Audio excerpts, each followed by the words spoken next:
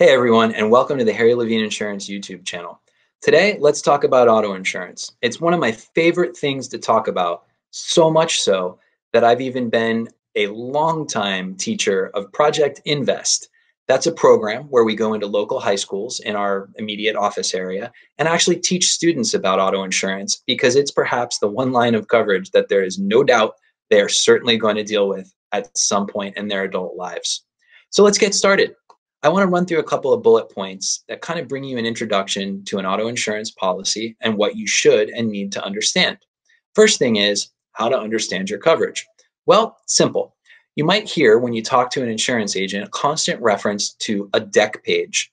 Well, that deck page is actually a declarations page, and those declarations are declarations of coverage.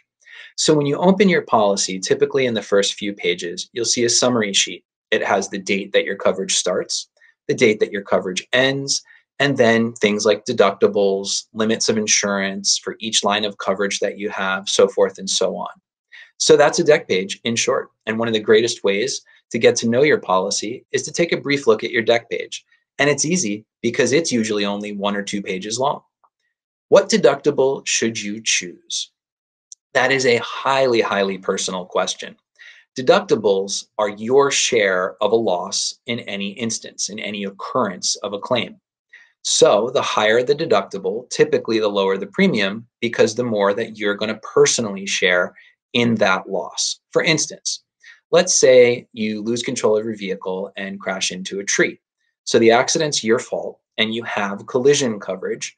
And collision coverage is to cover physical damage to your car caused by a number of perils that stem back to collision. So if somebody else collides with your car, we'll deal with that later. But if you're at fault or you have a situation like a hit and run or several other things that could happen, collision is what will trigger or respond to your loss. If you have a $500 deductible on collision and a $5,000 loss, the insurance company will pay 4500 and you pay the deductible or your share of the claim, that $500, and the two together make up the $5,000 cost of the damage to your car. So, if you want to have a lower deductible, that means that you share less in the claim. A higher deductible means you share more. Traditionally, a lower deductible means a little bit of a higher premium, and a higher deductible translates to a little bit of a lower premium. So it's all about what you can afford and what's in your budget and then at the end of the day, simply what do you value? What makes sense to you? And agents like us here at Harry Levine Insurance are here to guide you through that process and make sure that you make the right decision for you. Should you shop around? The short answer there is you need to understand your auto insurance coverage and you need a good independent agent who can do that shopping for you. Many times, an agent is beholden to just one company, and there's nothing wrong with that. Harry Levine Insurance has its roots as a captive nationwide agent, but since 2008, like all nationwide agents in Florida, we continue to enjoy a fabulous relationship with Nationwide, but we also have become an independent agency with a robust set of insurance carriers. We work with dozens of insurers to make sure that we have the best option for you.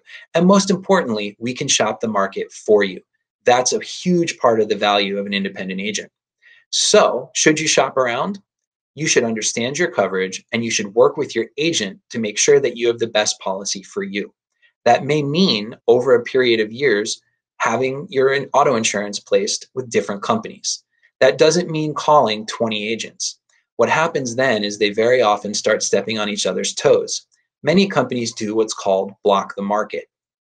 What that means is as soon as an agent enters a quote for you, no other agent can get a quote from that company so if you call 20 agents, they all rush to really what's the same probably five or 10 companies that are actively doing business and competing in your marketplace. And they wind up, well, not able to do much for you. But if you have a strong relationship with an independent insurance agent like Harry Levine Insurance, what we can do is take your insurance to market for you on your behalf. We can then show you the results and show you how five or 10 insurers have you priced as a potential risk for them. That way, you can make an informed decision that's also based on coverage, which should always be the number one concern. Price is very important, but you always want to make sure that you're properly protecting yourself first and then minding the bank account balance at a very, very close second. Why are some companies so much cheaper than others? That's a very, very loaded question. Um, th- there are several answers. The first of which is not all insurance policies are created equal.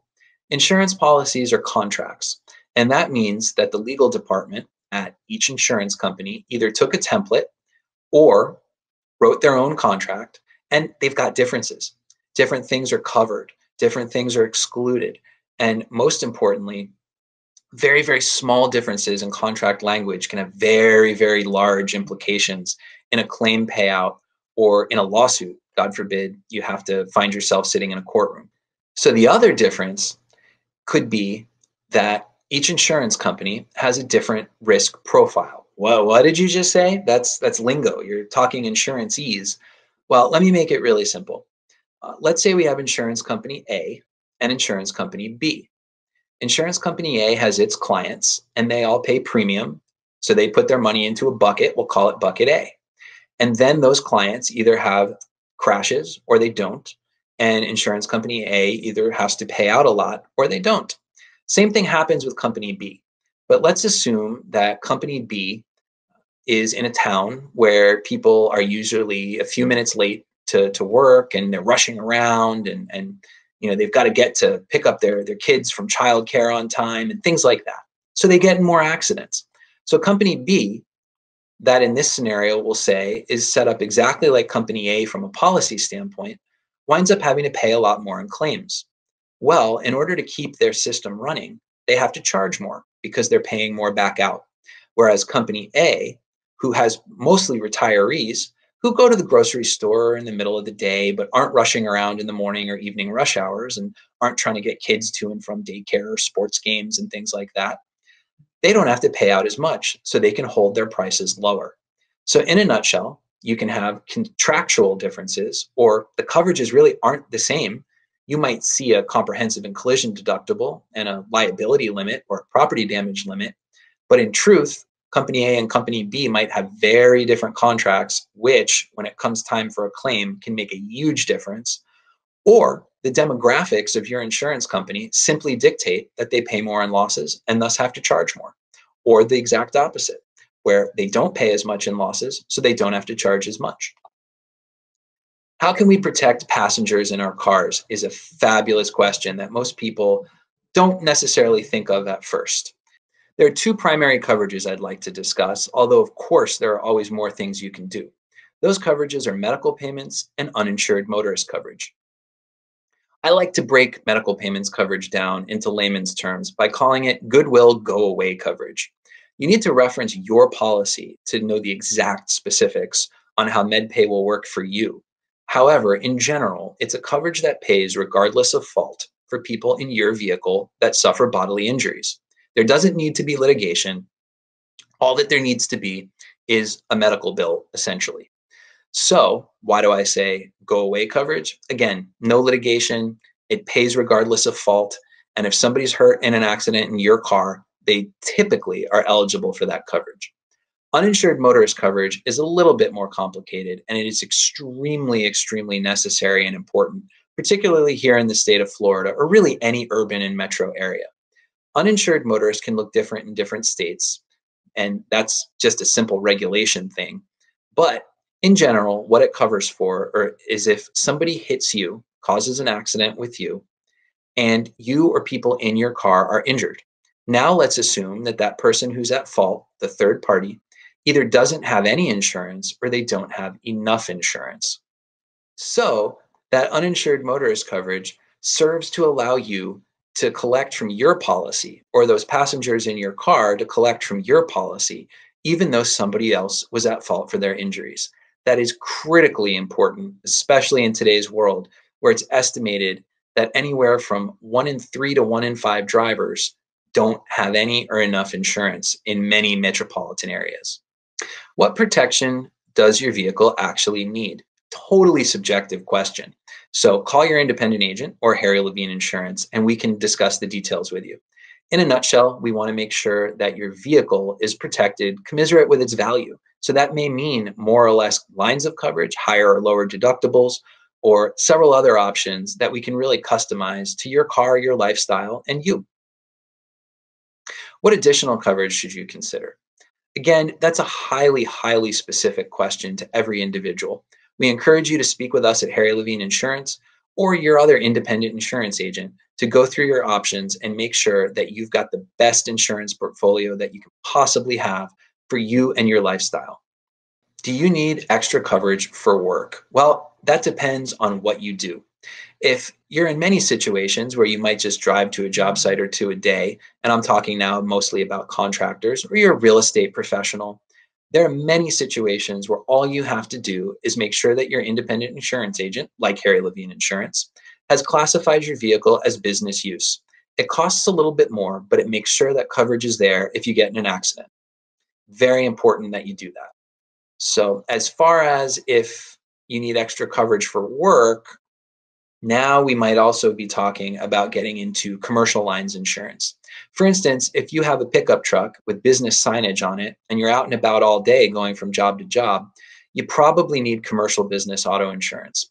And if you keep that vehicle on a personal auto policy, you may run a risk of a denied claim or several other things that may be nasty surprises should the worst occur.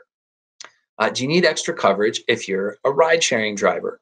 So whether or not you're working for Uber, Lyft, Uber Eats, or any of the other wonderful companies in the gig economy, our recommendation is that you talk to your independent insurance agent, like us here at Harry Levine Insurance. You absolutely will need to make some changes to your policy if you're working for any of these services. While they do offer those gig economy firms some coverage while you're actively on runs for them, your personal auto insurance does typically exclude business use and working for those companies is business use. So we need to make sure that their coverage and your coverage are working together. And without certain special endorsements, or a lot of people like to call them riders, but without making sure your policy is set up properly, you may be flirting with disaster should an accident occur, no matter what kind of coverage is provided by your ride sharing or delivery service type uh, employer. So let's talk about auto insurance in a nutshell. Of course, in most states, including Florida, it's compulsory. That means you have to have it. That's a good thing, though. Think about what happens if your car gets damaged or destroyed in terms of your ability, minus, of course, right now during the uh, coronavirus pandemic when most of us are at home, uh, to get to work, or even during the pandemic to get to the grocery store or an essential uh, medical appointment or anything along those lines. Auto insurance is often very misunderstood. And some of that is because of the messaging, even from some carriers that we work with and sell product for, that it's just a commodity. It's a box off a shelf. And the truth is, it's not. Contracts are radically different from carrier to carrier. Coverage options can be very, very different from company to company. And it's critical that you pull out that deck page and you at least form a rudimentary understanding of your coverage. Call your independent insurance agent, like us here at Harry Levine Insurance, and make sure that you have the proper coverage for your vehicle and your lifestyle. Price is incredibly important. And believe me, we understand, especially in today's day and age, how sensitive we all need to be to that. But what it's really about is making sure that should the worst occur, you're going to have an insurance company there to defend you, there to pay out as necessary, and there to do what you expect and want them to do. All too often, and I'm not saying this is people's fault because you know what? Sometimes insurance companies make mistakes too. But all too often, when people feel like their insurance company has failed them, it harkens back to the decisions they made about coverage in favor of price. So remember, when you're dealing with your auto insurance, make sure you understand every bit of coverage on your policy. Talk to your agent about what's available and why it might or might not be the right option for you there are a lot of things that may cost just a few dollars more that could save you so much heartache and so much distress if and when a bad accident occurs.